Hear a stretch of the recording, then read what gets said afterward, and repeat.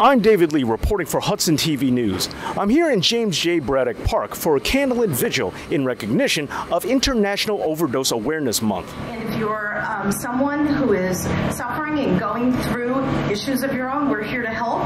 Um, and if you're a family member who might be going through it, we're here to help. The past two years have affected our community um, severely, um, not only just with um, addiction, but also with mental health issues, and they, they tend to walk hand in hand. And because most of our um, addiction resources were virtual, Recovery Court was also virtual, it was hard because many of our community members need that one-on-one touch and, and interaction, and going virtual was sometimes very difficult for our community to, to properly get the services they, they desperately needed. Law enforcement is here to help as well. We've all been given the mandate in Hudson County that we should help our population who's suffering from the disease of addiction to direct them into treatment resources that we're not just here to arrest, but actually here to help them. Law enforcement agencies across the state of New Jersey are spending enormous resources trying to figure out creative ways to address the crisis that's taking so many of our lives and destroying so many families. Um, the Bergen County Prosecutor's Office has joined with the Hudson County Prosecutor's Office on this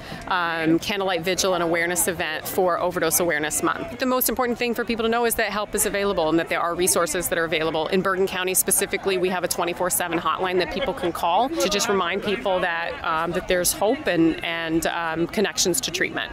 If you or anyone you know is struggling with addiction, please reach out and get help as soon as possible. I'm David Lee here in North Bergen reporting for Hudson TV News.